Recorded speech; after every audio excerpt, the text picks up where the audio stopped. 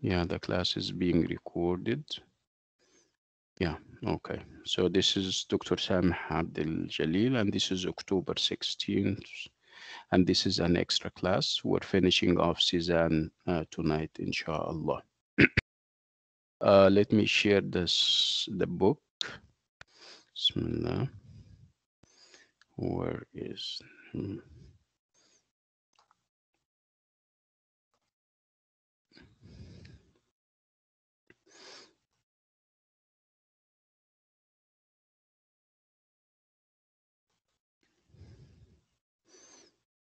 Okay.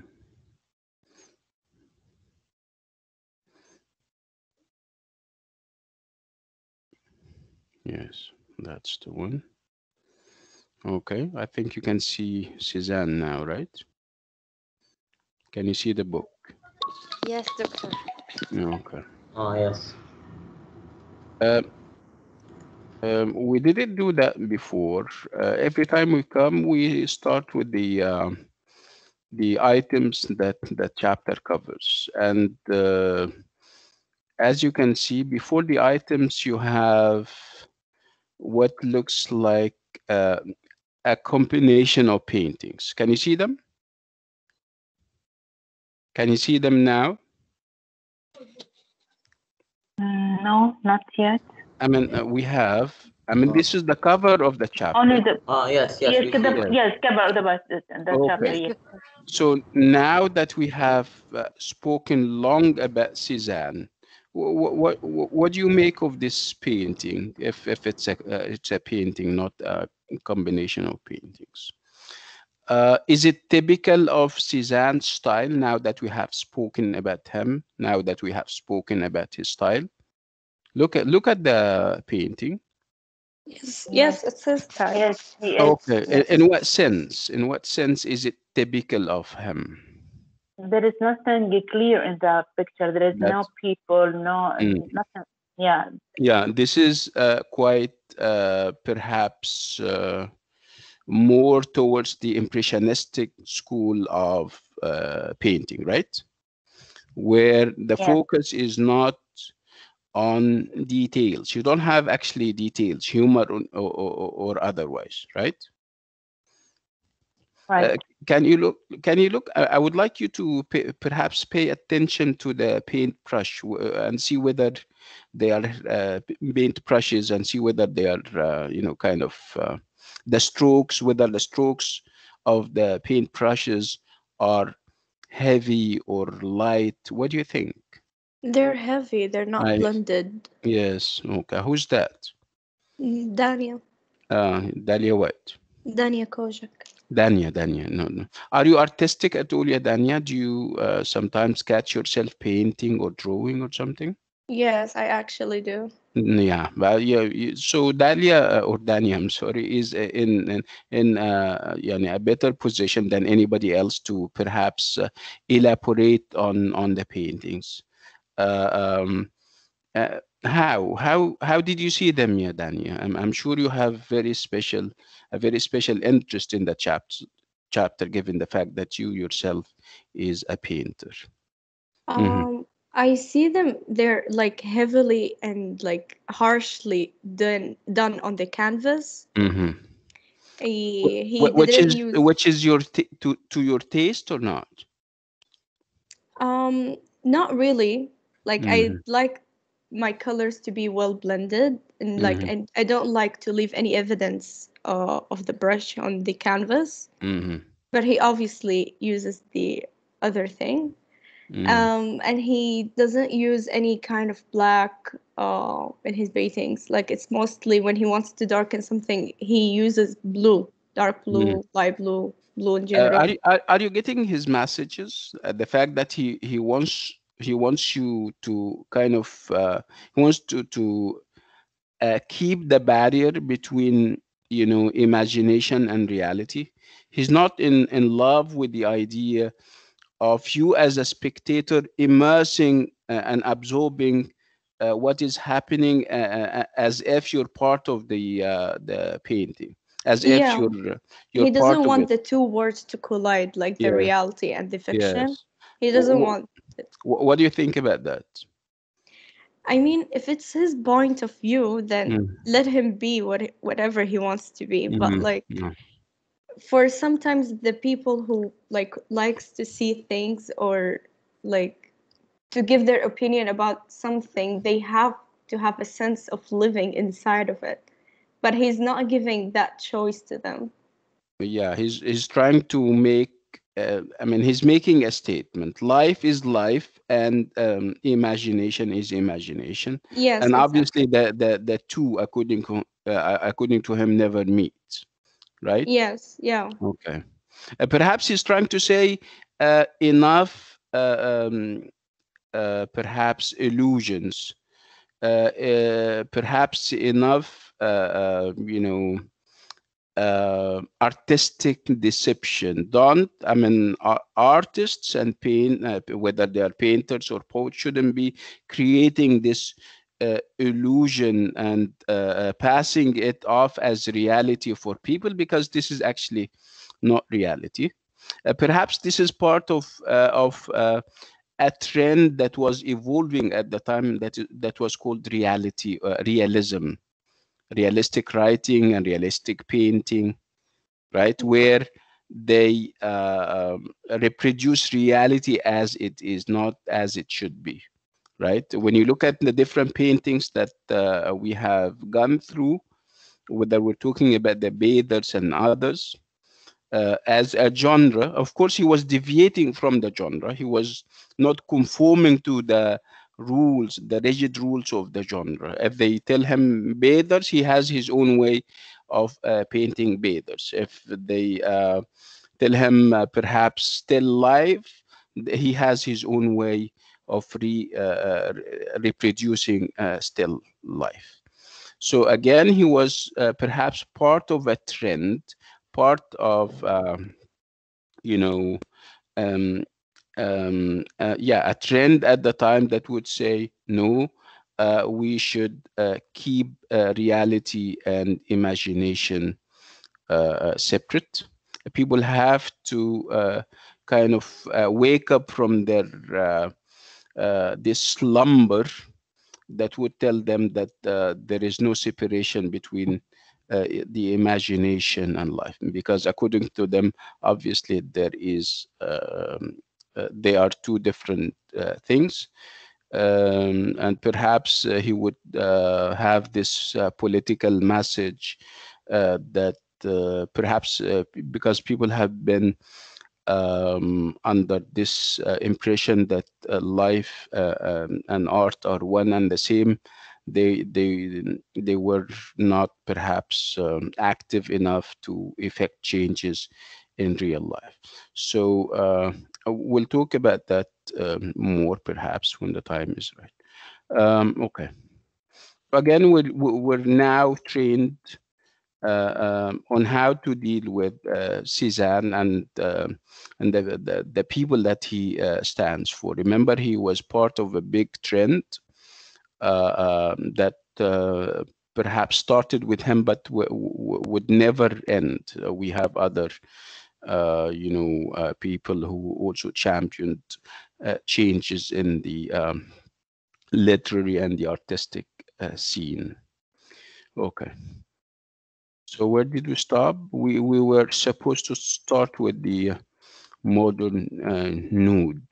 Okay, we spoke enough about him as being French, as being from the south, and uh, with heightened sensibilities, with him uh, having to go all the way to the center to Paris in order to get recognized, and the fact that he got rejected by the Salon because he was not following uh, the rigid uh, rules and regulations and guidelines of the Salon. Uh, he would try uh, once and perhaps twice, and at one point he would decide not to try again. He would uh, uh, meet with people who were also rejected, other painters, and they would form what we now call uh, the Impressionist school of painting. Uh, Impressionist, uh, the Impressionist school of painting would uh, um, you know the painters wouldn't uh, paint uh, according to the guidelines of the salon uh, somehow uh, uh, because uh, the time has uh, perhaps changed because um, um, at the at the time there was also social and political revolutions so people uh, were perhaps prepared and ready for uh, you know a corresponding and a parallel re revolution in art and this revolution was championed and was initiated by people like uh, by Cezanne and his uh, uh, people like him. Uh, again, uh, he would be accepted in uh, the Salon, perhaps after 19 years.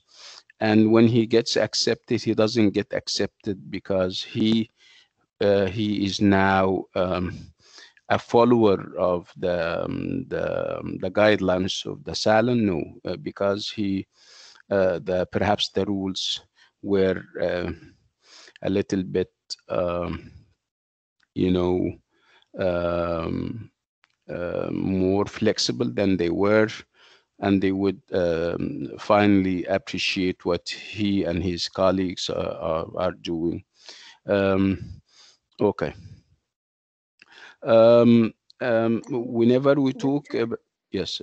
Uh, can I ask sorry, sorry to interrupt, but I I want to understand uh, this point.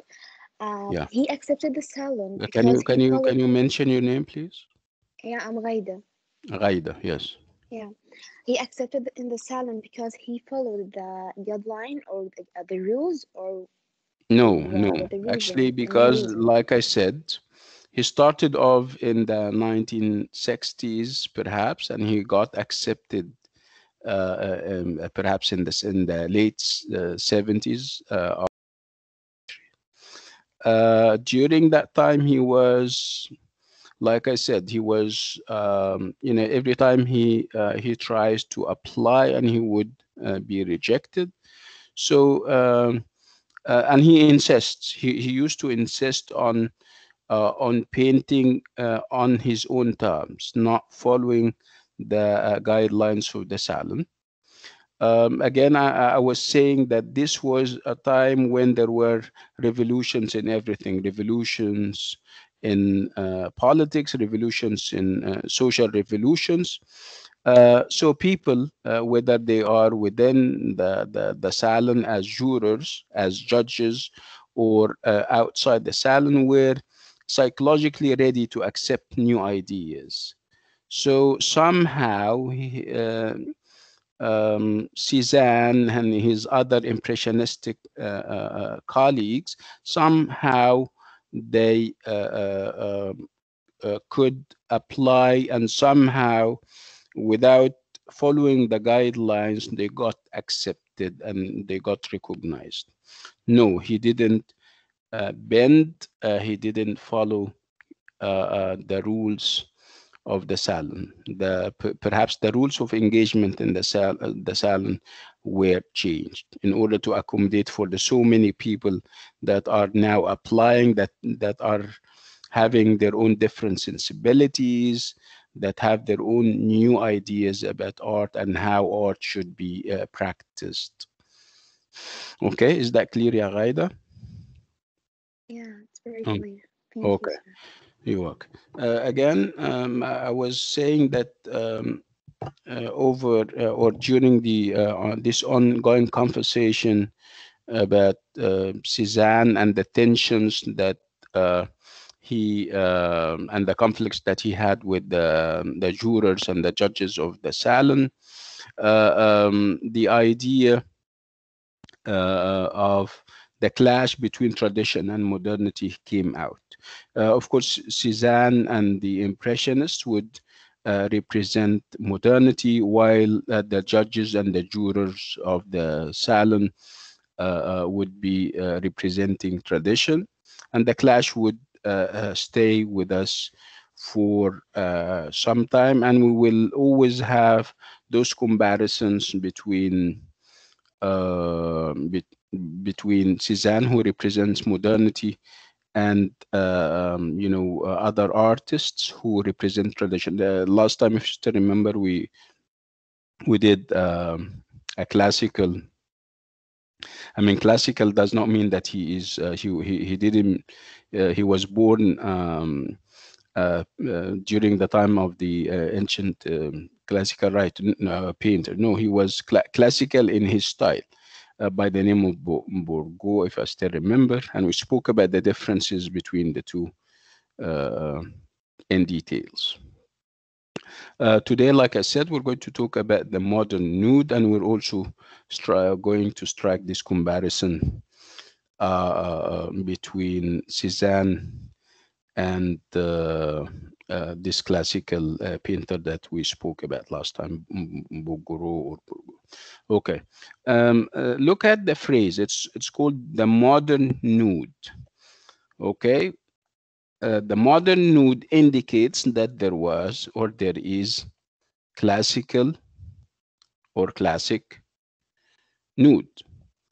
Uh, it means that we're having a new concept or a new vision as how nudes should be uh, given and prese- presented uh, in the paintings. Okay, so the, the word modern means that uh, um, there is another uh, type uh, of uh, of nude that is classical that is being practiced and, and, and exercised and then the, the fact that that this modern nude is obviously going to be different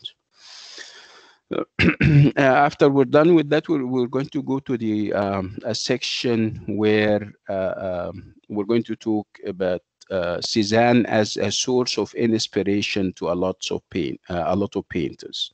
So it's called uh, this part is called the artist's art. He was the artist of the artists. I mean, uh, he was their favorite. So you have artists, uh, and uh, their their favorite uh, would be Cézanne. We'll talk about that and why they uh, find uh, appeal in, in his work, and then we'll move to uh, the idea of Cézanne writing. Uh, oh, I'm sorry, writing, uh, painting the um, the landscape, and of course, uh, um, his uh, the the countryside uh, where he used to live would be a fit place for that, for inspiration, and also for recapturing uh, those kinds of uh, paintings where uh, you you will have mountains and rivers and stuff like that. Um, and then after that, we'll go to such pure things. This is an item that would address the idea uh, that uh, um, I mean, this is uh, perhaps um, rumors. Uh, the idea that Cézanne was um, not an anti-women, he was not a misogynist, he wasn't a, a woman hater, but he was uh, he, he has he was sensitive towards women, and in the sense that he wasn't. Um, this is this is uh, perhaps mm, you know like i said um m- are not very confirmed the fact that he he was trying to uh, perhaps steer away and avoid uh, perhaps uh, painting uh, women and if he paints them he paints them uh, you don't have this uh, emotional uh, over and undertones that you would feel in uh, paintings on or about women, as we're going to see. Um, and, and then we move to uh, still life uh, paintings. Uh, still life is a genre that he didn't start. It was there, but he he perhaps mastered and perfected it. And and then finally we'll talk about scholars and owners.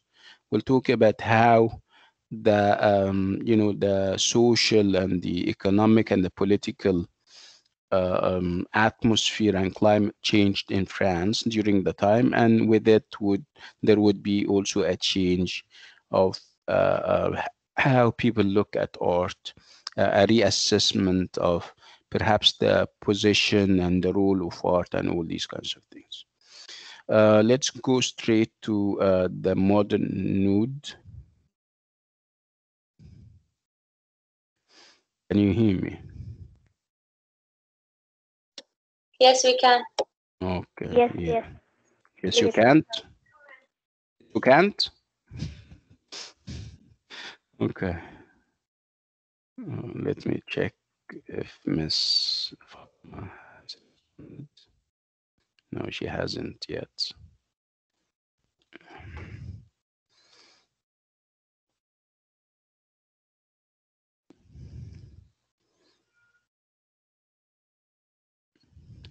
Okay, this is the part that I was. Uh, this is a continuation of the uh, the talk about the difference between uh, remember um, Bouguereau uh, on the one hand and uh, Cézanne. Um, and and this time around, uh, um, uh, remember when we made those comparisons between the two, it was based on on the uh, on the bathers, and the bathers, like we said the other day, are women. Uh, we don't have male bathers, okay, and uh, they are uh, typically and uh, uh, in, in, intuitively when we talk about uh, people bathing or swimming, they are normally um, un, undressed. so we'll we'll make comparisons again between the classical Bouguereau when it comes to nudes and of course to um, um, Cézanne.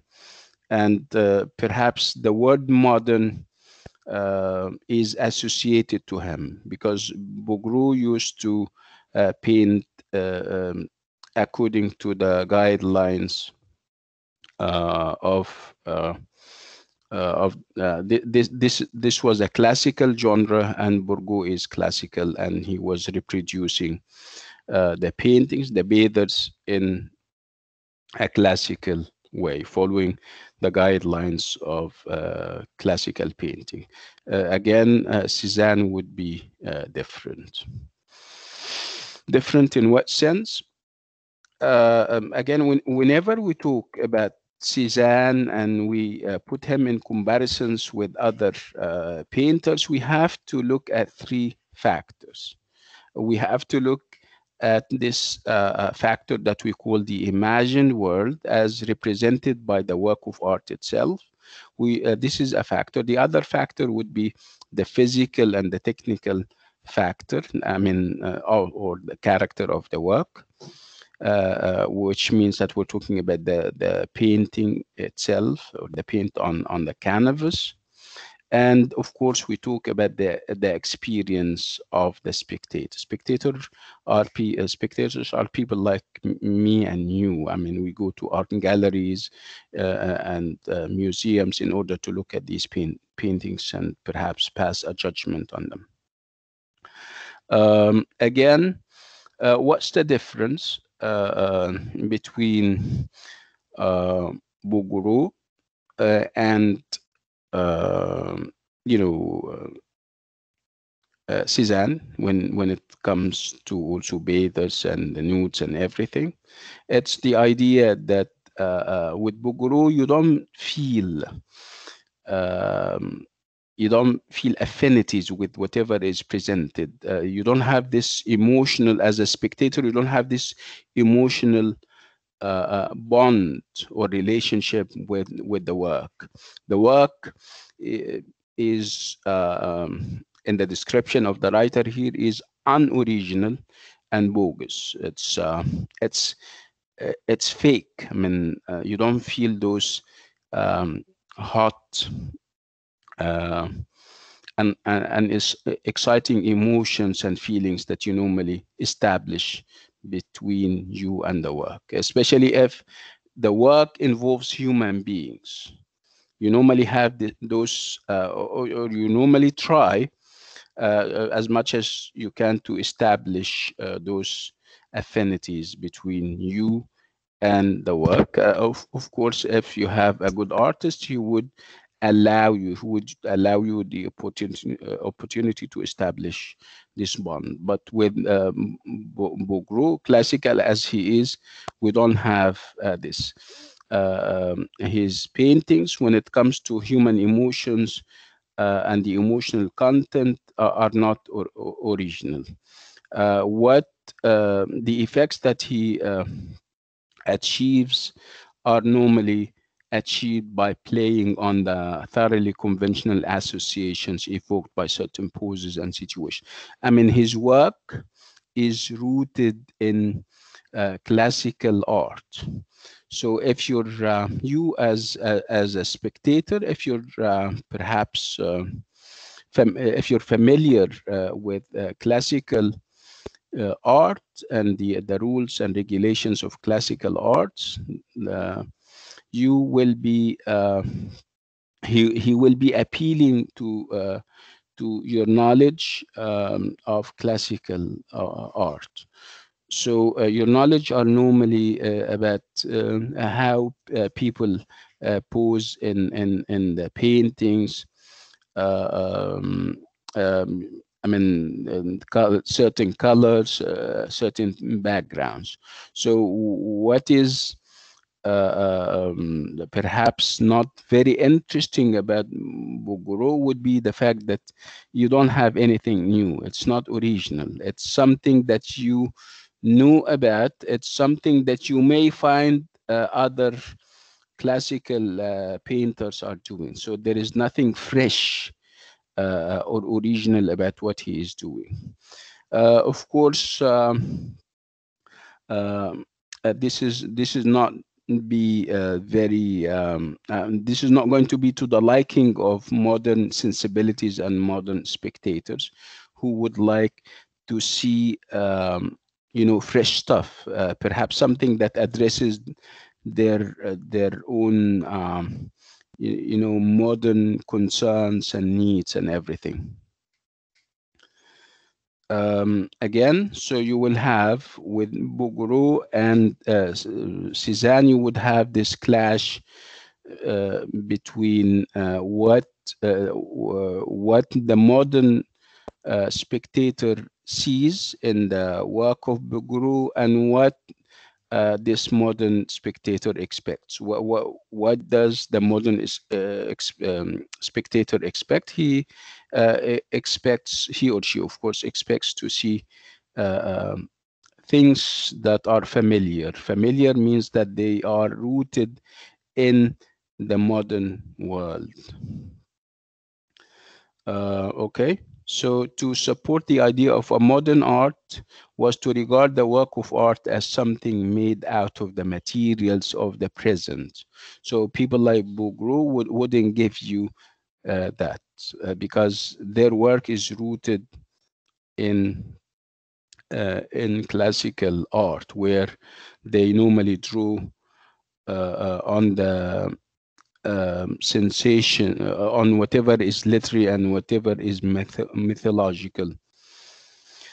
Uh, when you are uh, as a modern spectator uh, is focused on whatever is real uh, you uh, need to uh, to feel fresh and modern sensations the sensations of the real. Okay? So who is going to do that? It's going to be people like Cézanne, uh, where uh, uh, he would engage uh, you as a spectator. He would engage you actively with its uh, with actual colors and forms, and he would try to st- stimulate a fresh emotional response rather than a reassuring sentimentality. Okay. So again, uh, uh, people, uh, classical painters like Bouguereau would give you the appearance of emotion. See, so he doesn't give you the emotion itself. He gives you the appearance uh, of emotion, and not uh, the emotions uh, themselves.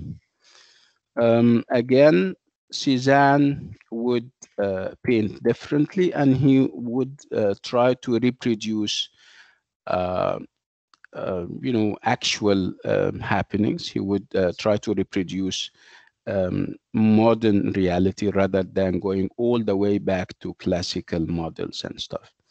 Um, again, we're talking about the idea of modern beauty, the fact that um, as an artist uh, living in the 19th century, you should be recapturing modern uh, uh, beauty and if the, this uh, this beauty has to be modern.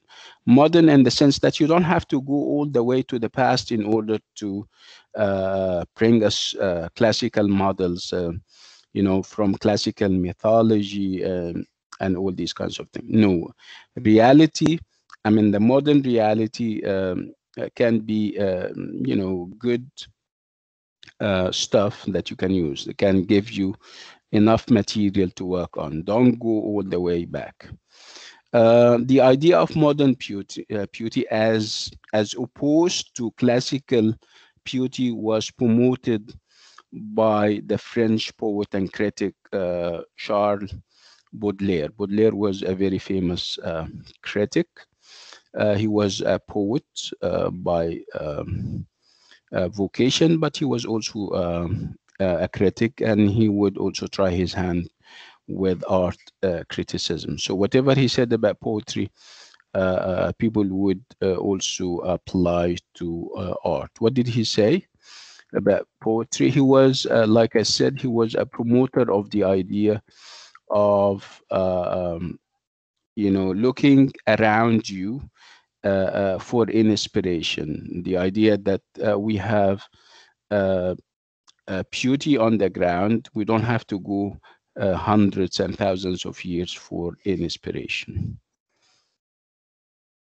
Uh, so he published a long and highly influential essay in which he characterized the painter of modern life. Okay, so the painter, if you, uh, if I would, according to Baudelaire, if I would call you a painter, you have to be a painter of what kind of life of classical life? No you have to be a painter of modern life.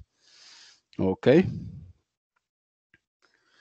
So uh, baudelaire conceived of the artist as a kind of receptive surface whose consciousness registered the distinctive flavor of the present as he passed through uh, the typical locations of uh, modern city so as you can see at the core of uh, Baudelaire's argument would be the idea of modernity, the idea of the present, of whatever is contemporary. Okay, and whatever is contemporary, where? Where it is in the modern city, not in the classical city. I don't have to go to all the way to ancient Greece and to ancient Rome for inspiration and for models. No, according to him, you uh, uh, your um, material would be stuff from uh, the modern city uh, where you are recapturing and reproducing uh, whatever happens in the present. So this is his uh, concept of modernity that would oppose the idea of going all the way back to classical models. uh, he he would also say that um, art is normally about the tension that we normally have between whatever is modern and whatever is classical. And perhaps uh, good uh, uh, poets would uh, uh, be those who can uh, reconcile those uh, uh, tensions between whatever is old and whatever is modern. Uh, for Baudelaire, art demands a kind of tension between its abiding traditional values and its pre preoccupation with the fleeting aspects of the present. So you, you, as an artist, you have to have this tension within you. Uh, um, you you have values, traditional values that you would also think of and consider, and you also have uh, um, you have to also be uh, concerned with the fleeting aspects of the present. Uh, according to him, the present is about whatever is ephemeral. Ephemeral means something that is short-lived, something that is not long-standing. So uh, um, modernity means ephemeral, fugitive, uh, contingent. Contingent means that not long standing. So according to him, this is half art. Okay, so whatever is contingent, whatever is ephemeral and fugitive would be uh, um, half art, and the other half would be whatever is eternal and whatever is immutable, and that could be the classical models and the classical values. So again, your role as a good artist would be to reconcile the two. Um, and he has this uh, very uh, sharp observation when he said uh, he was uh, um, reviewing the um, the proceedings of one of the um, uh, annual uh, saloon saloon sessions salon sessions, and he he came that he came up with the um, he observed he said that. Uh, there is a tendency among painters to dress all their subjects in the garments of the past. And obviously, this is something that he doesn't like. Uh, they could evade the contrasting demands of the present or of realism. According to him, this is wrong. You shouldn't be referring all the way back to the past for models, for inspiration. No, you also have to deal with reality and you shouldn't be avoiding uh, whatever is contemporary. Again, uh, um, um, as as a good artist, you should have this balance between tradition and modernity. If you can do that, you'll be doing a good job. Uh, and we're having the example of nudes. I mean, he was uh, obviously not him. I mean, the uh, the writer of the book is or the chapter is referring to uh, nude nudes as as um, as a genre as part of the bathers uh, um, and and the fact that uh, sometimes it doesn't uh, really work and he has the example of Monet Monet at one point uh, would have a painting by the title or the name of Olympia where he uh, would uh, try to be totally modern um, in the description of the in, in, in the painting of a woman. And in um, the woman was in, in, in a modern setting.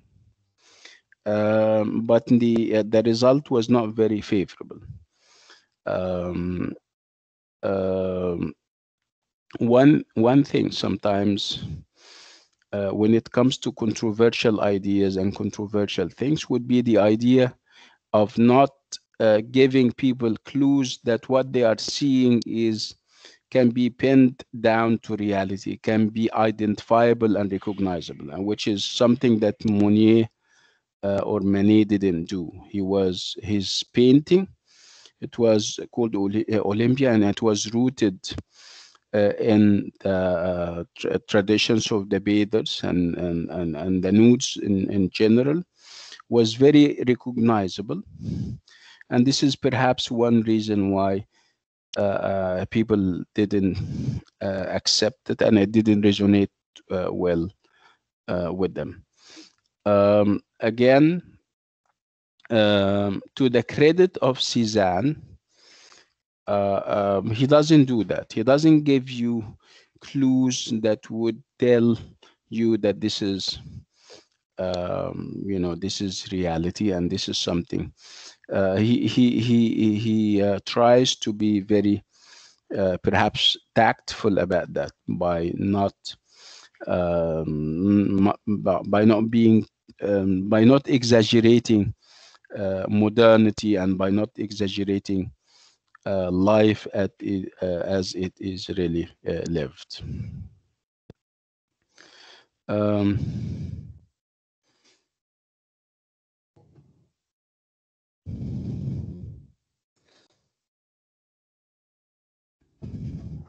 so again, so we're comparing Cezanne to both Bouguereau, uh, who happens to be classical, a classicist, and also to a modernist uh, like Eduardo Manet. And in the two cases, uh, um, Cezanne was uh, doing um, a better job.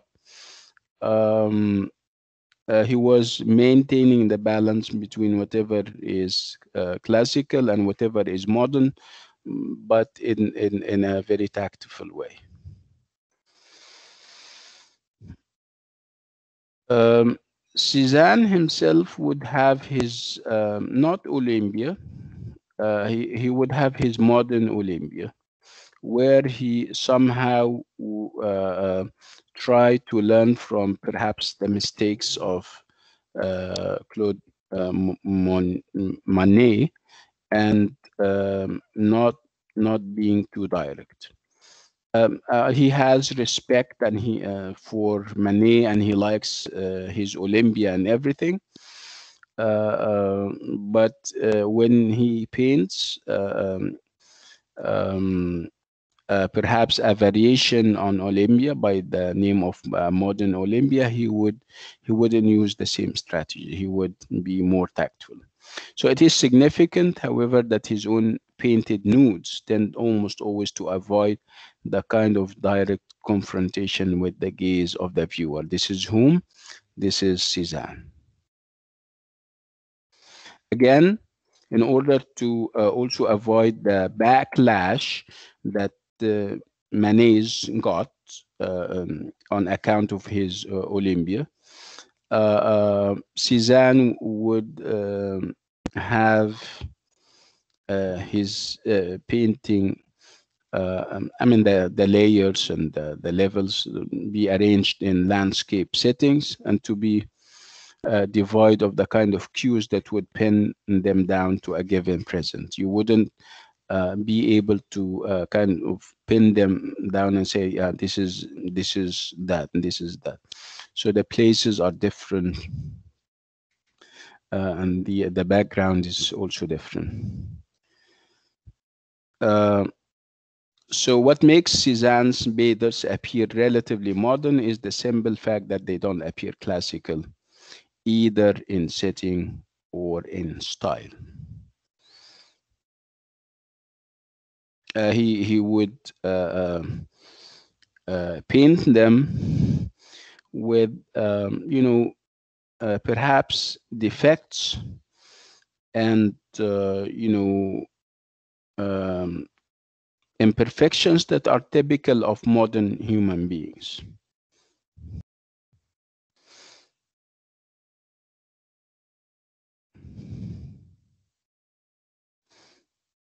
Again, we have this contradiction. At one point, we would say that uh, Cezanne is um, modern and uh, modernity is a reaction to um, classical tradition. And uh, um, you know modernity is also a rejection of this class uh, you know those uh, sets of classical traditions. Uh, however uh, in in in assessing Cezanne, one of the uh, critics would refer to him um, as as a classical writer I'm sorry, uh, as a classical painter. If you still remember, uh, there was this art critic by the name of Riveret, um, whom we quoted earlier, and he was referring to Cezanne as a Greek. he, he would say that Cezanne would resemble um, a Greek of the classical period. So how can he be modern and and and how how come uh, he can be a Greek of the classical period. Um, um, uh, it doesn't mean I mean yani a simple interpretation of what Riveret was saying would be that Cezanne uh, uh, was not a painter in a classical uh, way. I mean, he wasn't adopting classical style. Uh, but um, but he has this sense of uh, you know um, when you refer to something as being uh, classical it means that it is perhaps well done it is uh, it is original and it's it, it's simple and noble and all these kinds of things.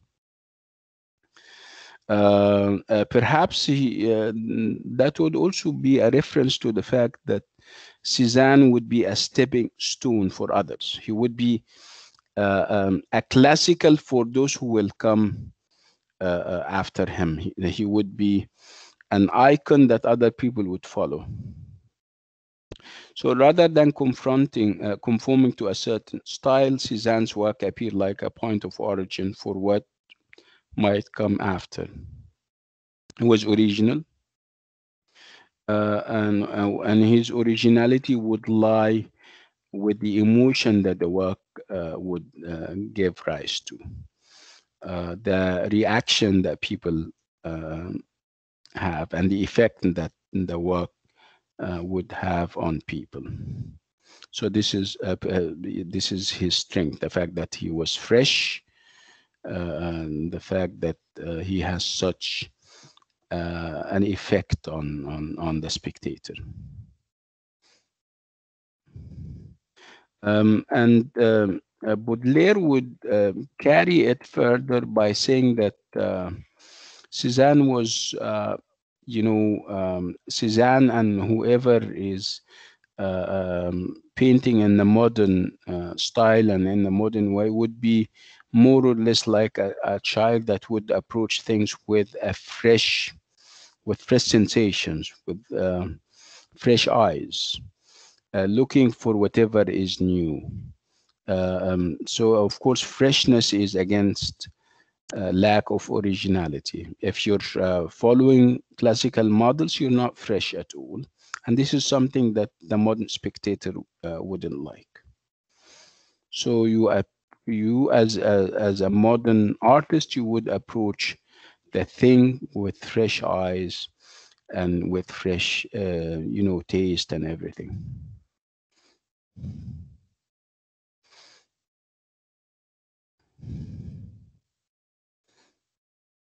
Again, we would uh, uh, stress the fact that Cézanne, for all his modernity, he would learn from the mistakes and errors of other modern artists, and he would uh, uh work, and his work uh, might reassure, but could never provoke and challenge the viewer.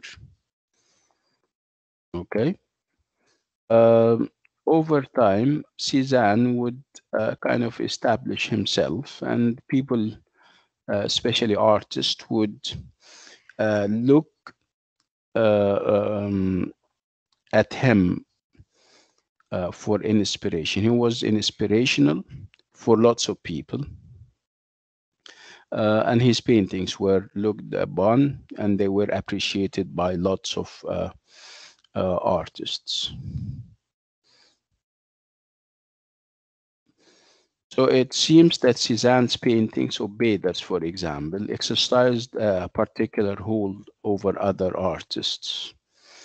Uh, let me just give you the names of those artists who got inspired by him, who were, um, you know, kind of um, uh, appreciative of his um, uh, uh, of the changes that he made uh, in the domain of art. We have people like Picasso in the 20th century and Matisse. Um,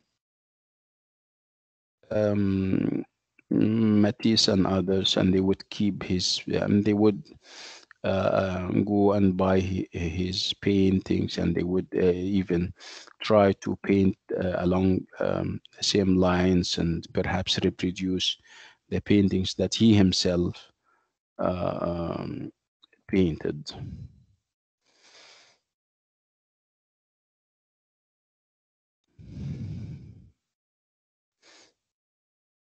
Uh, we also have the German poet Rainer uh, Rainer um, Maria Rilke. Um,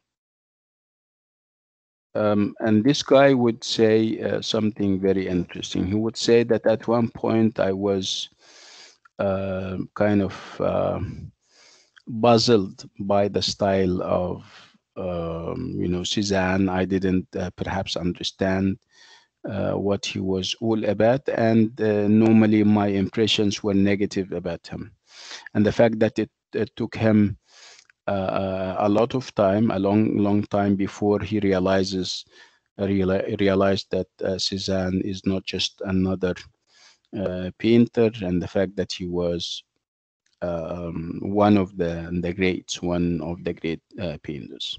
He said that I, uh, perhaps I learned my lesson. It took me some time uh, to appreciate uh, Cezanne and his work. Uh, um,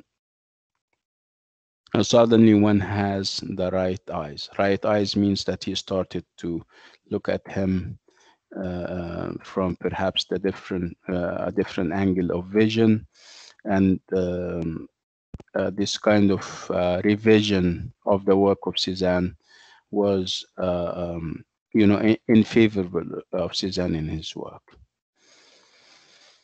Uh, again, when Rilke devoted the the necessary uh, um, amount of time, uh, he uh, could come up with the the idea that Cezanne is a great painter. And then we move to another area of interest where the focus uh, this time around is on Cezanne as a, a, painter of the landscape. Uh, again, as a painter of the landscape, he would uh, recapture um, the uh, reality of uh, um, um uh, of his um, of the countryside where he hails or comes from. Um, there was uh, obviously no better uh, place um, to recapture. If you're talking about landscape, if you're talking about mountains, if you're talking about rivers and uh, perhaps simple people and stuff like that. So again, he's going to uh, to uh, perhaps go all the way back. Uh, perhaps this is after he, he had established his reputation as a great painter. He would go all the way back to the countryside and he would uh, uh, get inspiration for his landscape paintings. So one contributory factor in Cezanne's reputation as it developed at the end of the 19th century was his attachment to his native pro- province or um, province where he comes from. I mean, uh, and and th- I mean this is what he says, for example, about uh, where he comes from. He says, when one is born down there in the south of France, nothing else means a thing. It means that he, of all the places that he traveled uh, around and traveled to, um, his native town or his native village remains um, the most uh, outstanding.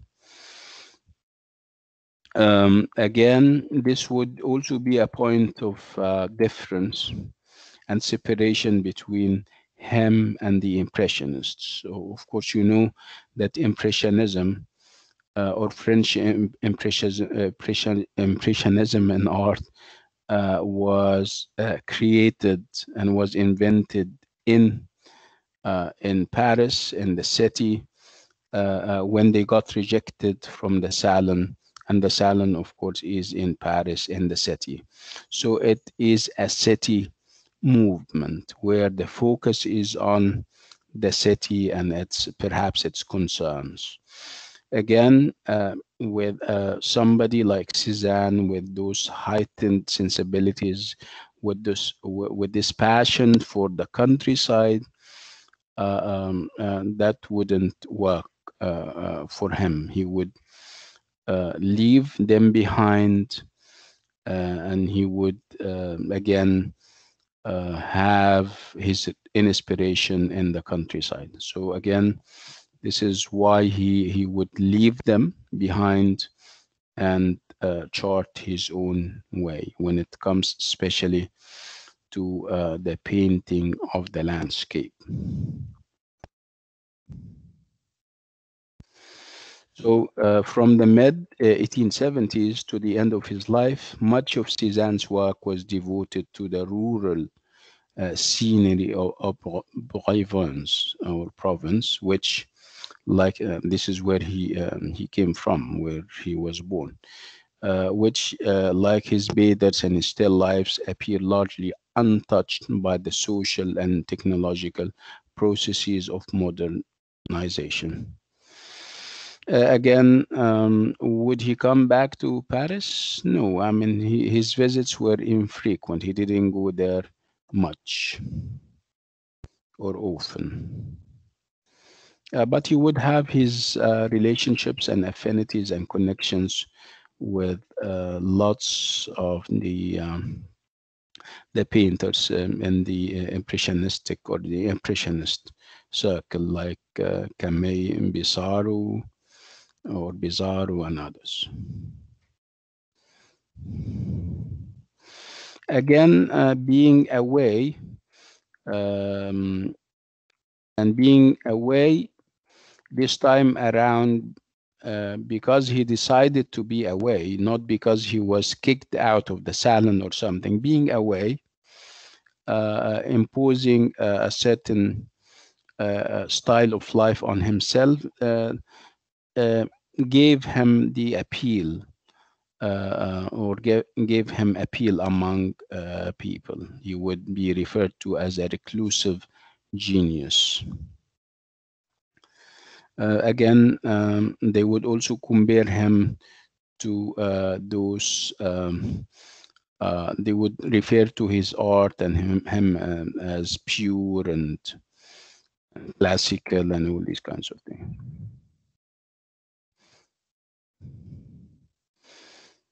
Um, uh, the focus in his um, landscape landscape painting was on Mont Sainte-Victoire. This is obviously uh, a mountain in his uh, native uh, town. And uh, it would feature very um, heavily in, in most of his uh, uh, paintings and in over 30 of, of his paintings um, you, I mean, of course, that's a recapturing of the mountain and uh, from different angles and everything. Again, uh, where where did he uh, take uh, these, um, or where did he paint those paintings? He kind of uh, bought or rented a studio that would overlook the mountain and that would allow him the opportunity to uh, kind of uh, paint the mountain.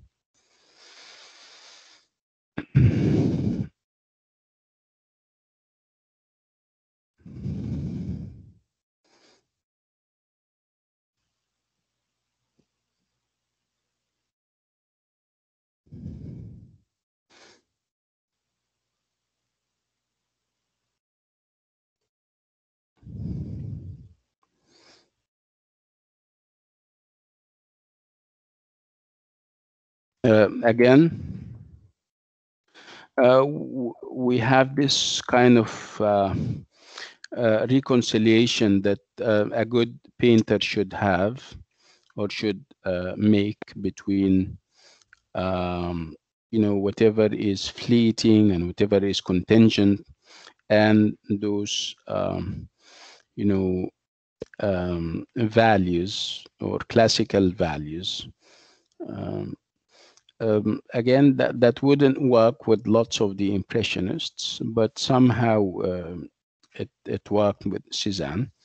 Cézanne was to remain committed to the aim of truth, to the immediate sensation of nature, but he is reported as having said near the end of his life, what I wanted uh, was to make of Impressionism something solid and durable, like the art of the museums. So again, he would subscribe to uh, um, uh, their uh, guidelines and principles, uh, and uh, and also those of Baudelaire about um, you know capturing whatever is fleeting, whatever is contingent, whatever is ephemeral. But he also said that I would also um, like to um, to uh, preserve uh, to my paintings uh, and the paintings of the Impressionists, whatever is solid and whatever is durable. We need them to be uh, uh, like the art of the museums. Um, and then we'll have this comparison between him and Poussin. Uh, I'm not sure I'm pronouncing the name correctly. This is another, uh, perhaps, um, French painter, Nicolas Poussin, who uh, was um, a major figure in the establishment of a classical style of painting in the mid 17th century. So the comparison here is, uh, remember when we spoke about bathers, um, the comparison was with Bouguereau, who was also a, a, a you know, uh, somebody who uh, who uh, painted in the traditions of the bathers. This time around, we're talking about landscape paintings, and uh, the comparison here is with N Nicolas Poussin or Poussin. I don't know how to pronounce uh, his name. Okay, so how different um, and how similar um, Cézanne is. Again, when it comes to um, you know um, landscape paintings.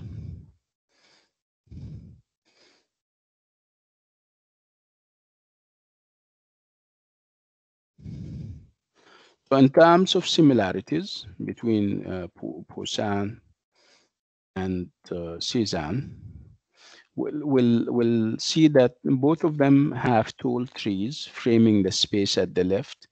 Both of them have buildings catching the light slightly further back on the same side, and both of them represent extensive views over a large enclosed area, and both have projecting mountains in the far distance. These are the similarities. How about the differences? The differences uh, would have to do with the um, the scenes uh, that are depicted. Um, in the case of Cézanne, for example, there would be or there there is always this absence of any human or animal life. Um, uh, with uh, with Poussin, you normally have goat herd and flock. Um, again, the the main uh, um, you know um, difference would be um, you know it has it's it's it's technical, and it's also about this relationship between virtual picture plane and actual surf, surface.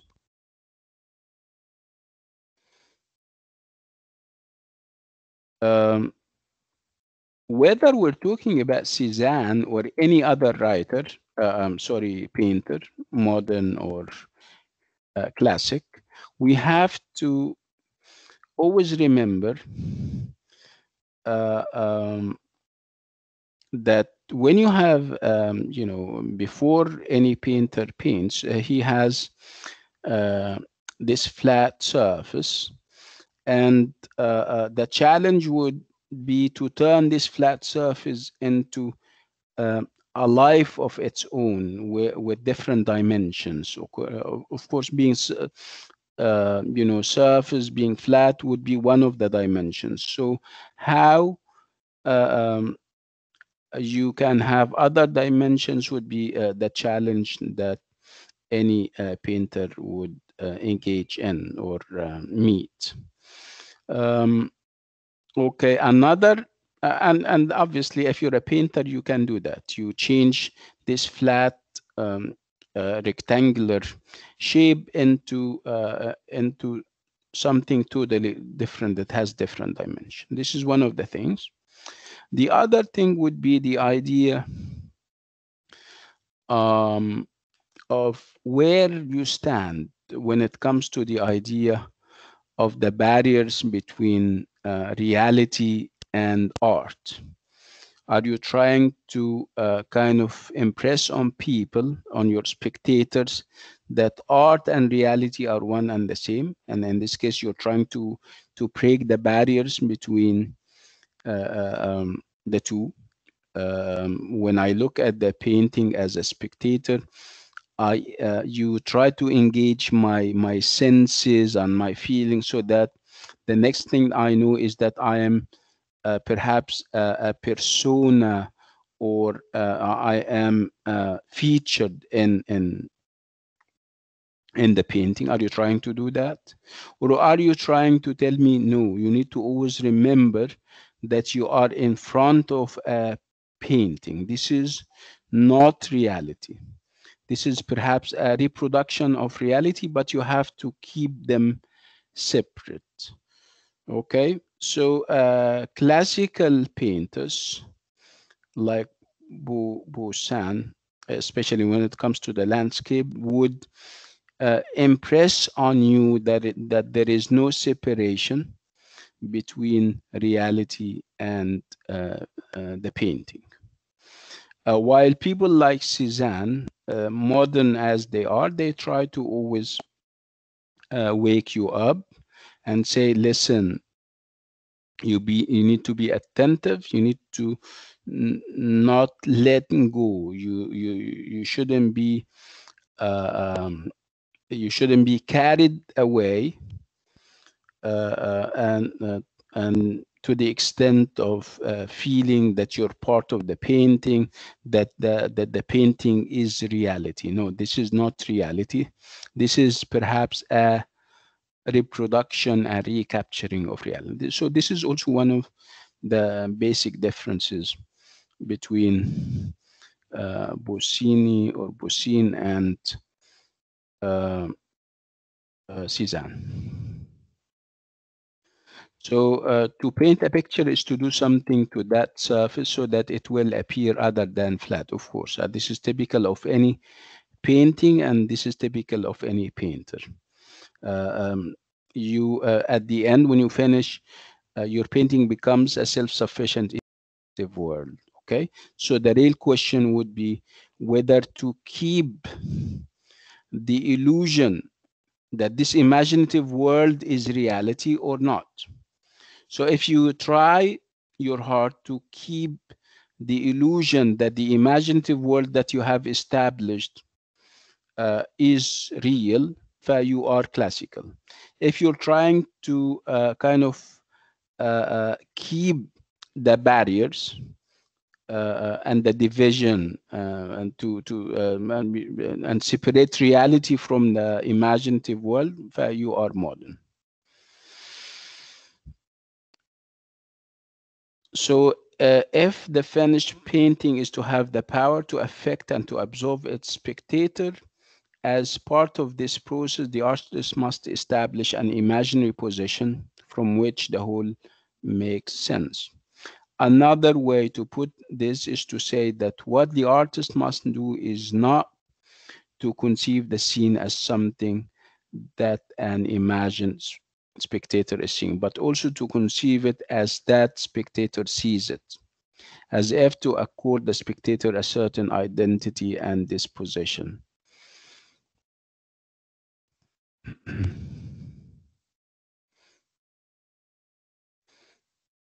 so as you can see in classic in traditional classical paintings such as Poussin's, that plane is made more or less transparent.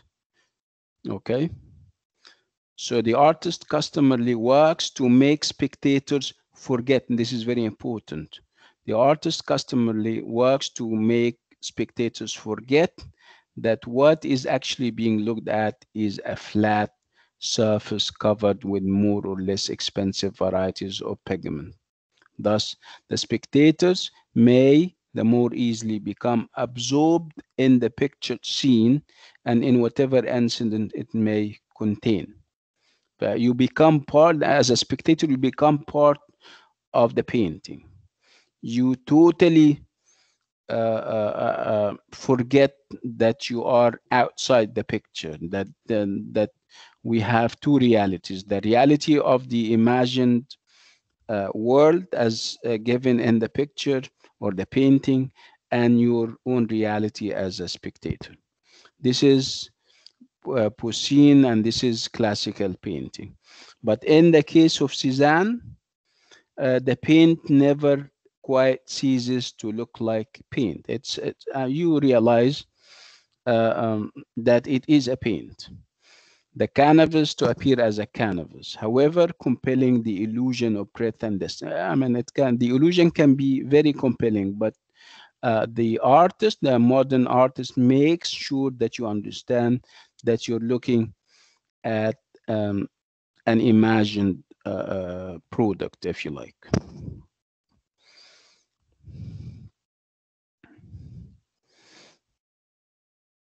Am I making sense?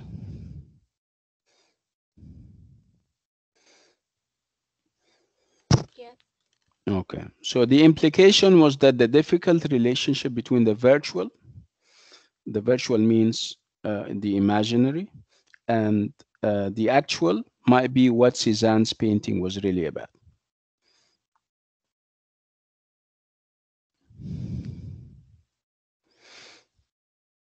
Uh, again, um, the tension between whatever uh, is uh, virtual and whatever is real is also at the core of any uh, um, successful painting.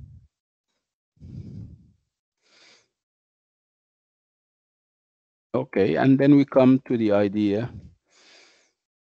that uh, um, Cézanne was actually, um, um, you know, uh, was kind of trying to. Um, um, he, he was not very uh, in in uh, on very good terms with, with women. It doesn't mean that he he used to pick up fights. I mean, he he himself was married at one point, but it's not about that. It's uh, I mean, if he has to choose between uh, perhaps painting uh, women and painting other uh, subject mat- matter, he would go for uh, other subject matter.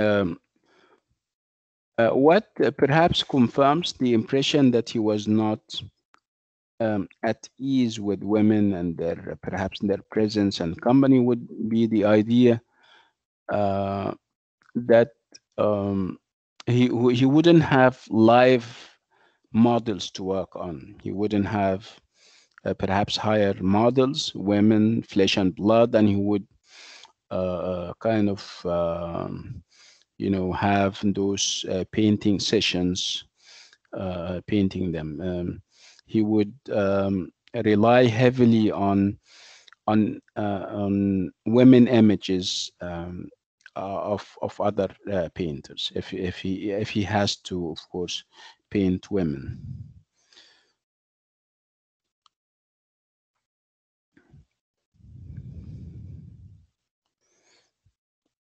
um, again, like I said, the work of earlier painters he admired. Uh, so that Cézanne suffered from a fear of women and in general of being touched is a well-established component in the mythology of his life. We're saying mythology because it, it wasn't confirmed. Perhaps these are mere impressions about him.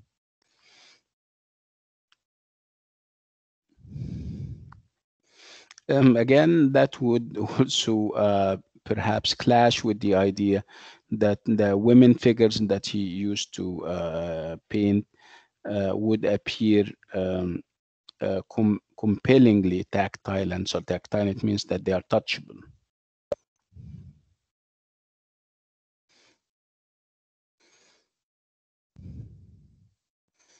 Um, uh, they they account they um, sometimes they get uh, perhaps um, uh, inspired and influenced by uh, by these ideas about him and women. And they would say that whenever we have women featured in his paintings and the and the bathers for example we see that women are have this air uh, of completeness and self-sufficiency. uh, um, you, um, what he's trying to say that they, uh, for example, they do, they don't need male uh, figures around them.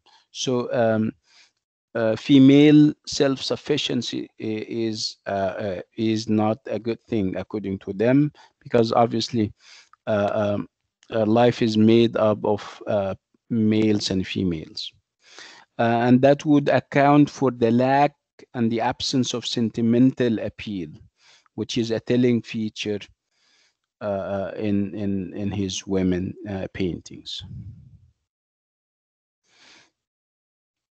um, uh, and this is something that uh, even Rilke would refer to. Uh, I mean, he, he, he used to send letters to his wife, and he would refer to this particular point. Uh, the idea of dispassionateness, and this is what he says: the marked absence of sentiment, sentimentality when it comes to uh, Cézanne's uh, female or women pictures.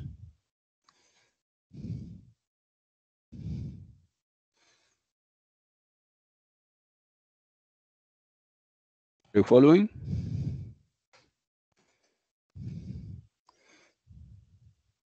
Yes, Hello. Okay. Do you do you guys have any questions so far? No, doctor, thank you. Mm, things are clear. No, Thank you. Okay. Okay. There's a um, lot of information to memorize, Doctor. I wouldn't I wouldn't call them information. Um, don't look Okay. at them as um, information. Otherwise, uh, information would require you to memorize stuff. The- the- These are not uh, pieces of information. These are interesting, uh, um, you know, uh, perhaps uh, tips as how you can approach, um, you know, painting. We're we're used to literature, but this time around we, we're having, uh, uh, you know, uh, painting, and this is something new and um, it is understandable that if if you're not uh, a painter or an appreciator of uh, of paintings yourself, you would find it difficult. But just give yourself uh, uh, the time, perhaps, to uh, to go and revisit the stuff and look at it, look at the uh, the paintings, um, try to uh, kind of apply the tips that we have uh, shared about what kind of paintings, look at the backgrounds, look at the colors, look at whether there are details. If you engage with the painting, I'm sure these words will come, you know, know, will come alive and things will be clear. Don't approach it as uh, perhaps a chore or a, a job. No, uh, just uh, allow yourself the opportunity to appreciate what uh, what you have. Okay. Um, um, Miss Fatma uh, Abul Hassan replied, and she said that she will, inshallah, provide you with details about the, the exam or the quiz style, inshallah. So as soon as she sends me stuff, I'll share it with you, and perhaps she would, uh, um, you know, uh, send you an email or post something on the LMS. But I would like you to check the LMS on a regular basis. Okay, so let's go to um, Okay. okay. Um, still life. If you still remember, this is what we started off, or started. I'm sorry. This is what we started with. Remember those Yes, uh, and, uh, number of you know um, fruit um, items. There, there were orange. There were there was also um, um, like like a jug and right. Remember them. Remember that one one of those still life paintings was bought um, for uh, did we say s- 60, 60 million dollars right? Uh, we spoke about that and we said uh, uh, was it bought uh, the painting was bought because it deserves this uh, or um, because it's worth it or or what and and we we said that it's uh, because of the the fact that it, it is associated with the name of Cézanne. Cézanne is now an established painter. Um, he is part of the artistic uh, canon. He is a, a big canonized uh, painter, and it's only natural that when uh, uh, people uh, buy paintings, they also look at the name of the paint, like they do with Shakespeare, for example.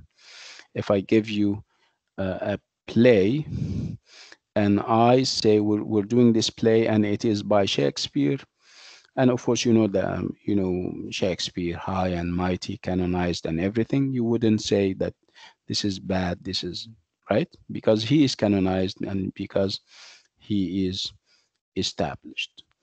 But if I um, if I don't if I hide the name from the play, if I hide the name Shakespeare from the play, you are uh, perhaps at liberty to say uh, your mind and to say whether you like it or not. Okay, so it's it's this hold that canonized and established writers and painters have on the audience.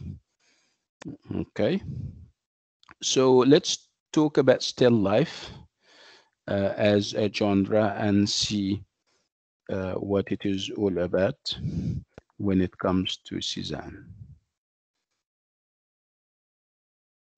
So these, uh, as you can see, these are the components of still life uh, paintings. You have ordinary kitchen table with a single drawer, the patterned dark blue cloth, the glazed stone uh, ware jug, the plain rustic fruit dish and white cloth, and the lemons and the oranges and all the other um, kinds of things. This is typical, right? Um, uh, the the question is um, it, uh, remains uh, is um, Cézanne the creator or the pioneer or the inventor of this uh, genre? Of course not. It has always been there, but of course uh, Cézanne added value to it. Uh, of course, we're talking about a specific painting, still life painting. It's the still life curtain, juggle, and Compotier reproduced in plate 131. Okay. This is the one that we're talking about.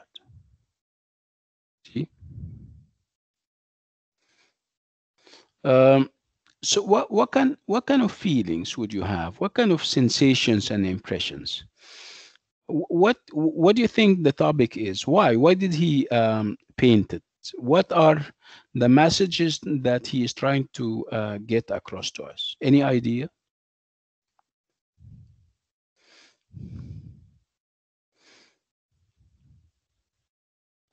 hmm. i'm asking you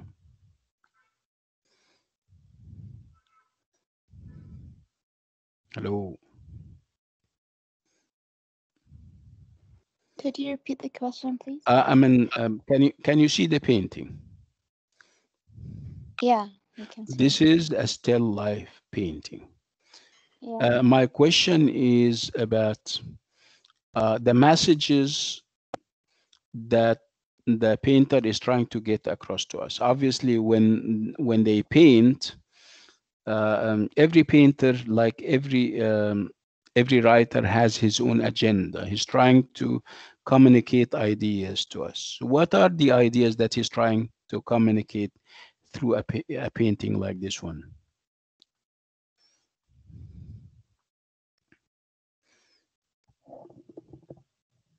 That maybe this is our life, what it would be Mm. like.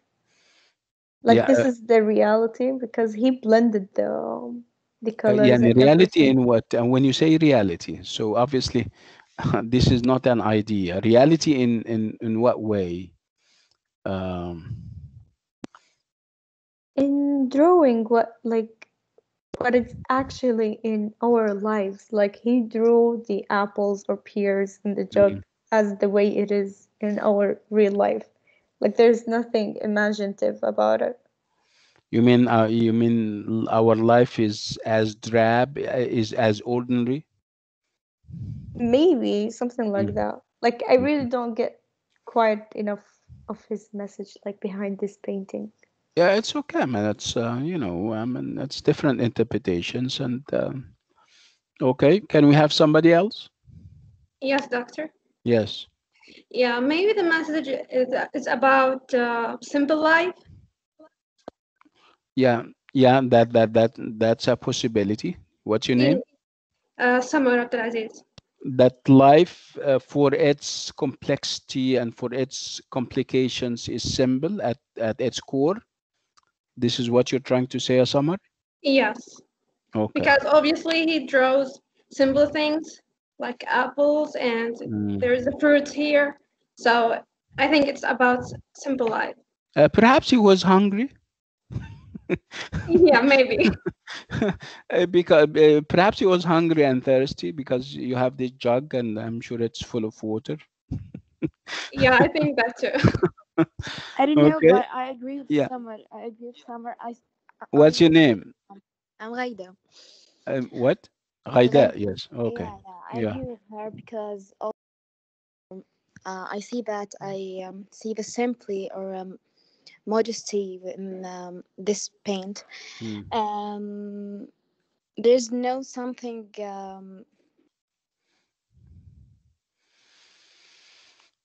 Yeah, there, there is nothing big about life. This is what life comes down to in the final analysis, if you like, right?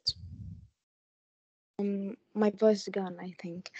Mm. Uh, yeah, I think um, there's nothing something uh, luxurious on or. Uh, Mm. uh, I mean, the simply. Is it very a call for humility? Is it a call for humility? Perhaps he's calling on people to humble down. Yeah. Mm, what do you think? Mm, okay. Can, can do, I I think we have gentlemen. Perhaps they can add perspective. Satam, do we have Satam around?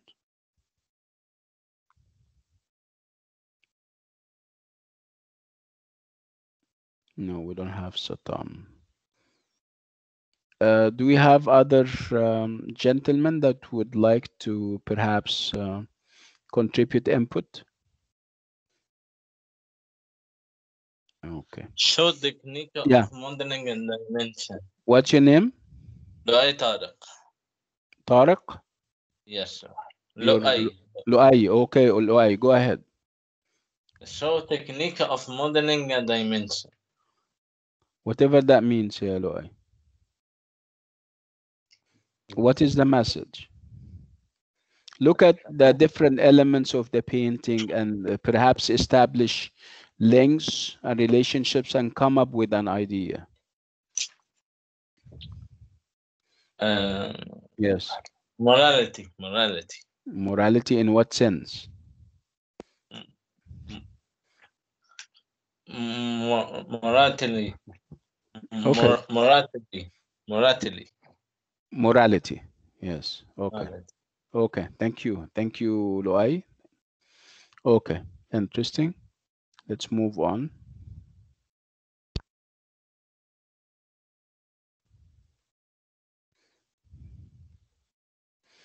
Um, um, again, it's um, um, um, this is a genre in and of itself, and it has always been there.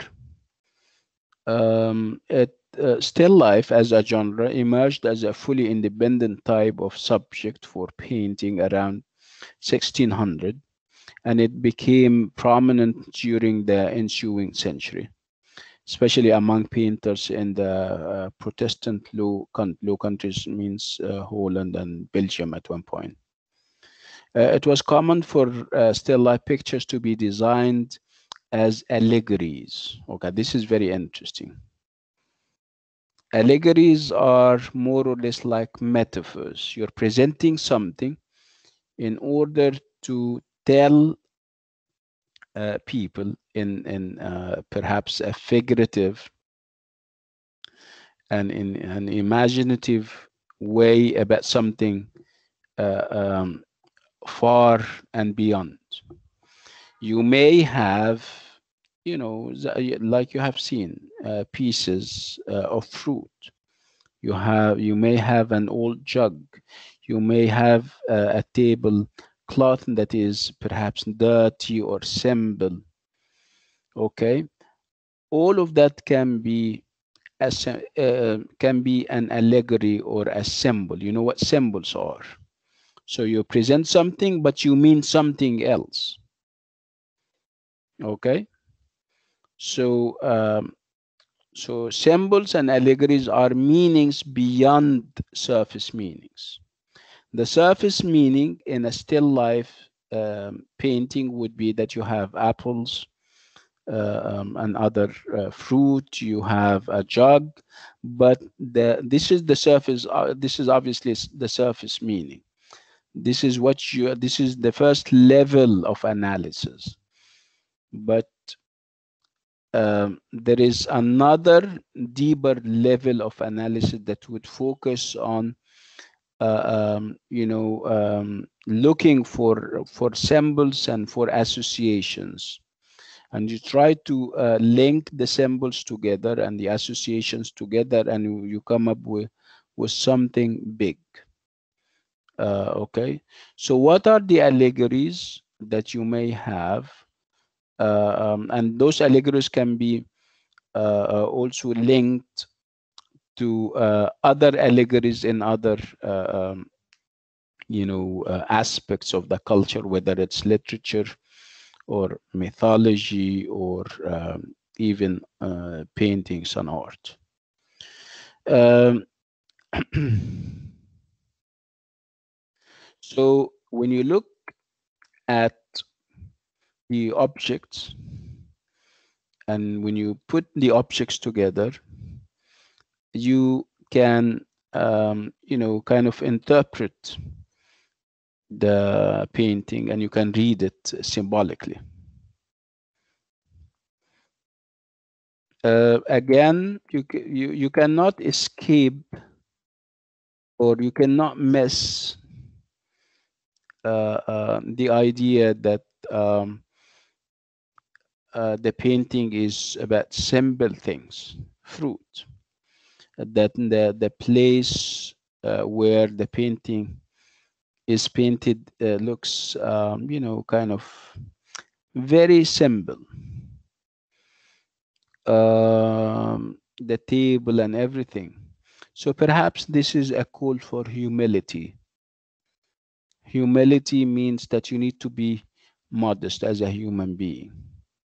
Perhaps this is a reference to the fact that life uh, should shouldn't be we shouldn't be complicating life. We should always remember that life is short.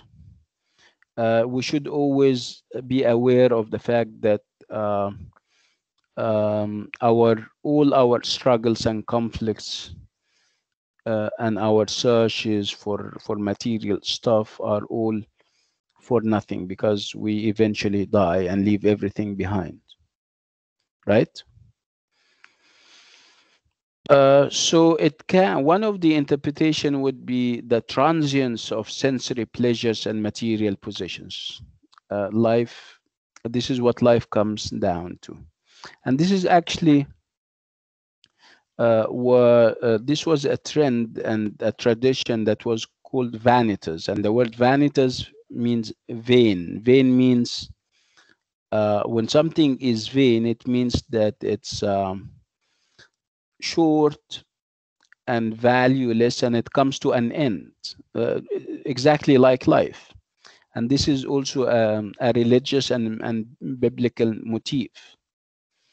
The vanity of vanities. Sometimes we, we talk about the vanity of human wishes wishes here means dreams. You have dreams and you're trying to do this and you try to do that. And uh, you you run and you struggle. You have conflicts with people over material possession over inheritance over um, uh, a job over a promotion.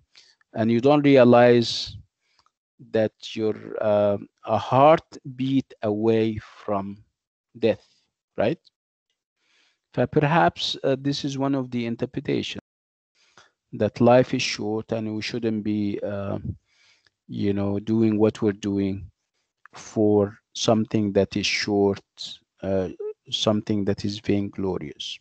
So vanities paintings are those featuring objects that have clear associations with the passage of time and with death. Okay, and the, the big slogan would be remember that you must uh, uh, die.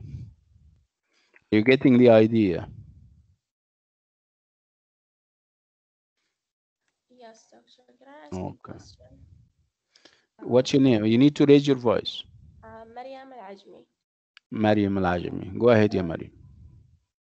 Was it because of his attachment to his native to- town or countryside? This, I mean, the simple life of his, like this, um, still, uh, Yeah, you mean uh, the reason why he took up this genre would be that he used to live uh, in a simple kind of life at the, when he was first born, and yeah, that's that's yeah, that's part of it.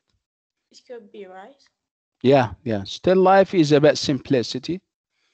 Uh, and uh, people who come from the countryside like Cezanne are very simple, right? Yeah, and the city people that needs to humble, like you said. Yeah, okay. So if it's uh, if it's it's a message to city dwellers and city people, it's about humbling down. Yeah. It's about stopping uh, pursuing uh, uh, material stuff. Uh, acquisitiveness, fighting for material stuff. Uh, uh, and in the process, of course, if you fight for material stuff, you would anger a friend, you uh, uh, would uh, perhaps um, upset um, a parent. We, we do all kinds of stuff. Overreacting in life, yeah. Yes, okay. So um, uh, perhaps um, uh, um, a painting like this would tell people, uh, please humble down. There is obviously more to life than just the pursuit of material gains. Uh, what I call material cupidity. You know, Cupid, the god of love. Yeah. So material cupidity means that you are in love with material. Material could be money, uh, could be uh, cars and positions and jobs and all these kinds of things. Allahu. Is that clear? Yes, thank you. Thank you so Okay. much.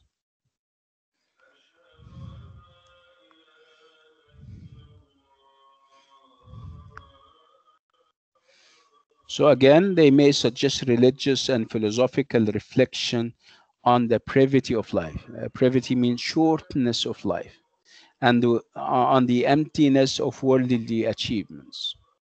Again, you can be achieving, but you, you know, at one point you would die.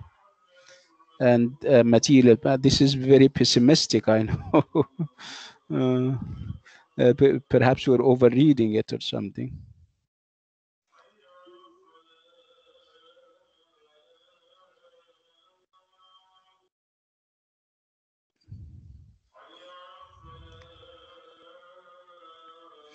Uh, but it can it can also have political overtones and messages.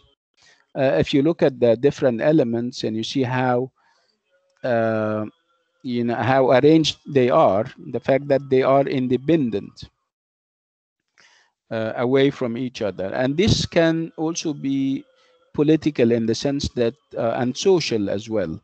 The fact that it is true that we work and operate within groups in society but we are individuals with uh, um, identities of our own. So the focus on the way the individual fruits are represented in Cezanne's painting and on the ways in which they are related one to another, the more it seems that individuality and relationship are here uh, being given substance as values in themselves so you can be part of a group but don't forget your individuality. Okay?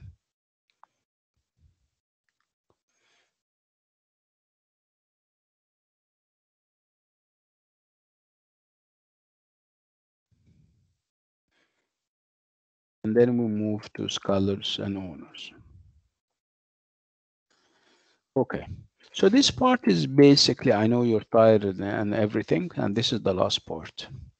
This part is about the the um, the changing atmosphere uh, um, in the 19th century uh, in France. Um, you know, France at one point, um, you know, had gone through a number of revolutions, um, and those rep- revolutions were very sweeping, sweeping in the sense they changed the uh, the the political and the social scene um, completely. Uh, of course, we we start with the the Great French Revolution in the uh, late um, um, 18th century, and then uh, there were a number of other revolutions, and uh, the fact that the system of government changed more often than not until it settles down, settles down towards uh, perhaps the end uh, um, of the 19th century. So uh, if you have political and uh, social revolutions, you also have revolutions in taste. Um, okay, because uh, revolutions, whether they are political and social, are made by and for people. And if they are made by and for people, uh, um, um, the, um, the I mean, uh, it's it's it's people who appreciate uh, art and of course literature, and they were also either part of the revolutions or recipients of the fruits of those revolutions. Uh, you need to also uh, think of the um, uh, the social order in uh, um, uh, the French society after uh, those revolutions and, and, the fact, remember there were the aristocrats, those who were affiliated to the um, to the royal um, um, to the royal family. The royal family will come to an end uh, with the um, big revolution in the um, late 19th century. Uh, I'm sorry, uh, 18th century, and a new uh, kind of government uh, will come over, and with it will come, um, you know, new classes. We will have what we call the middle class.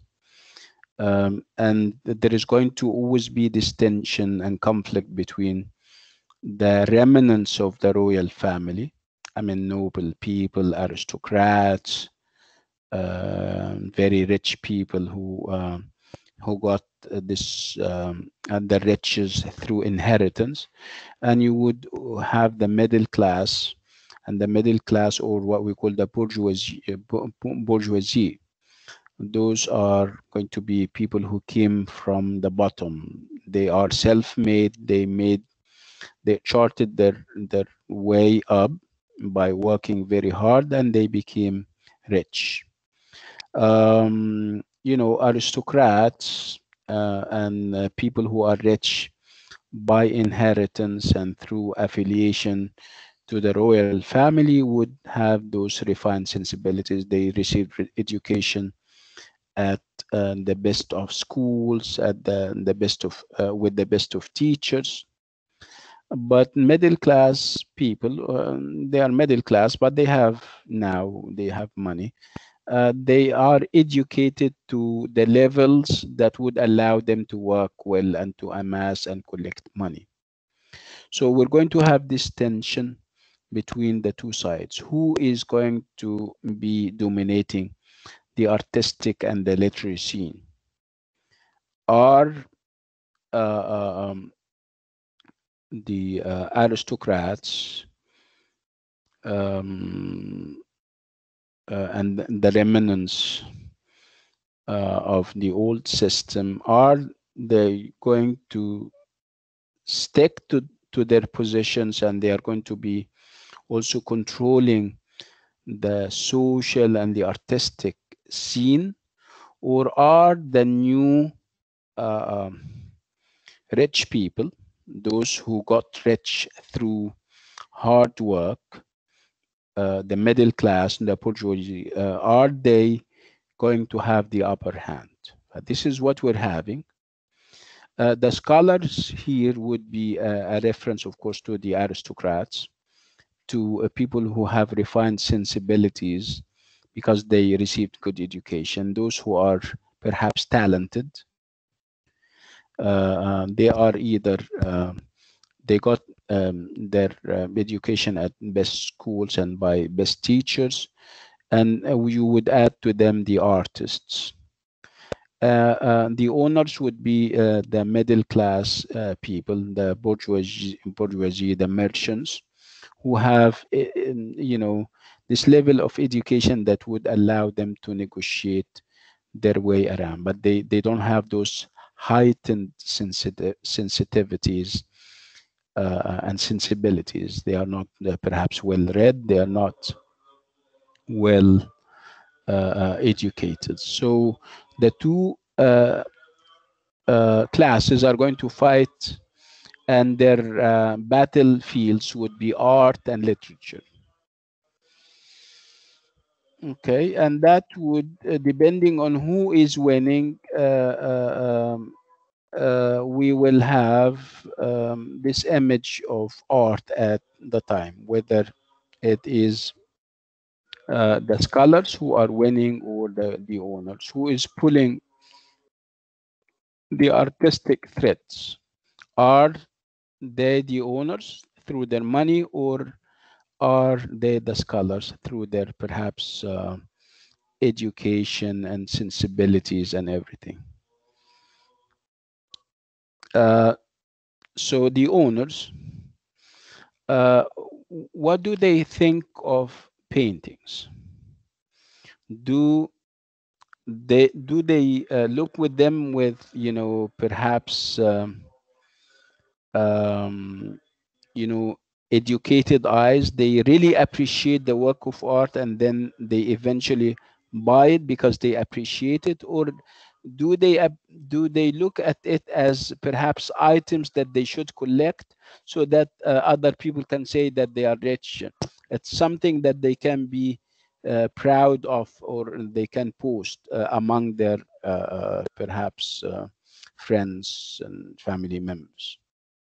Okay scholars when they look at pieces of work they of course look at them from um, you know artistic uh, viewpoints. They have those critical eyes that can tell whether this is uh, this is a, a, good piece of work or this is not uh, this is something that the owners do not have because they are merchants they are middle class they haven't received uh, as much education as the scholars did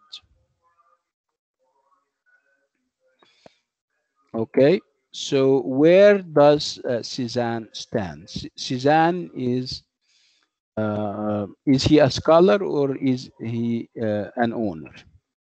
What do you think? Scholar. He's an owner. What does he own? Scholar. He's a scholar, yes. His father was, if you still remember when we first spoke about him, we spoke about his father and we said that his father was a self-made um, you know man. He became a banker at one point right? Remember? He was um, involved in the industry of hats. He was uh, you know making hats. And he could uh, climb the social ladder and he became uh, a businessman. So as a businessman he is an owner right while his son, Cezanne, who is a natural born, uh, you know, painter, is a scholar, right? So if Cezanne's father go to a museum or an art gallery in order to check the paintings, he would would he buy them because he knows that they have artistic values, internal and artistic values, or because he wants something that he can hang on on the walls of his villa, for example. What do you think? He wants something special. He wants to collect items. Yes, something that he can uh, post uh, uh, around. He can, Exact- Yeah, yeah, tell people, uh, listen, I have this or that painting, right? Yeah. But uh, if Cezanne goes to the same art gallery, would the experience be different? Would would uh, what Cezanne uh, uh, be looking for uh, be different? he would criticize Yes. the. Yeah, He has those sharp critical eyes yeah. that would tell him that this is a good pi- piece of work and this is not uh, a good one, right? Yes. Mm, good.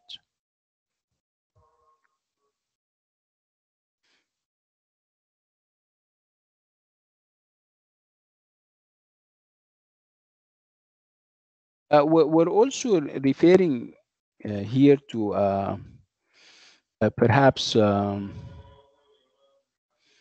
uh, an essay by Baudelaire uh, where he is addressing the bourgeoisie, the middle class. So is he addressing, when he addresses the bourgeoisie or the, um, the middle class, is he addressing the owners or the scholars?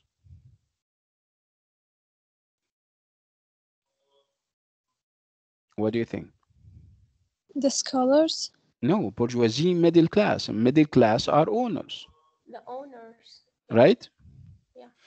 Okay, he uh, he's addressing them, and he's obviously telling them uh, it's uh, perhaps um, it's it's your time now.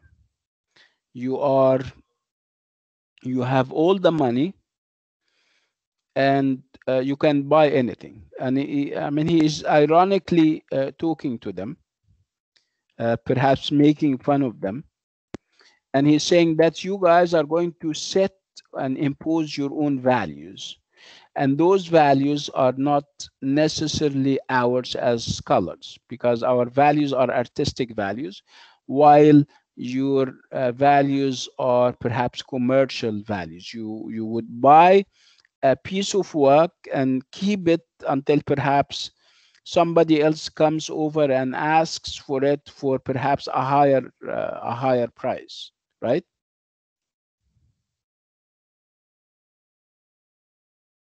Uh, he's telling them the, he's talking to the owners to to the bourgeoisie you are the majority in number and intelligence. And you are the force the force that uh, that would move things around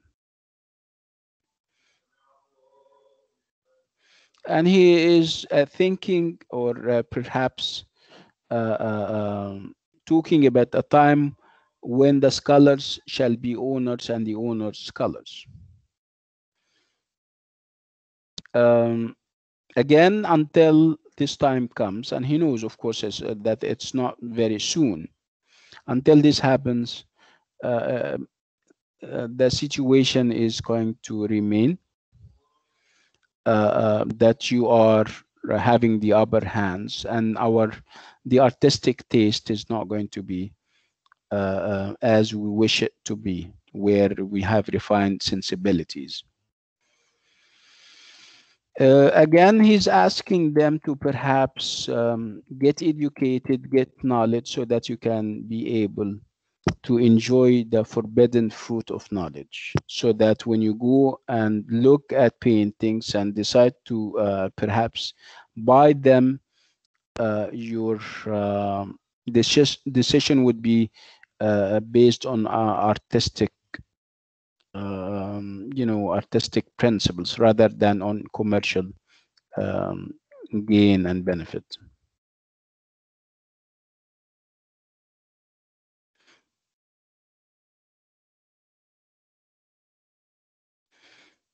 uh, this is basically uh, what uh, the chapter is about i know it's uh, very tiring but uh, it was a long journey, right? It took us uh, three um, uh, classes, right? It took three classes to finish. But I'm sure if you read it one more time, you'll you'll find it very interesting. You can always connect the dots together. Um, so, do you guys have any questions? No, thank you. Okay. Okay, so as soon as I get uh, um, the word from Miss um, Fatma, I'll relay it to you on the WhatsApp group, inshallah. inshallah doctor Okay, inshallah. Okay, يلا. doctor. inshallah. Doctor, يلا. excuse نعم. me. Yes. Uh, could you please tell me what should we focus on while while we're we are studying? Um, focus on the bottom line, whatever that means. Wow. Uh, well, um, I,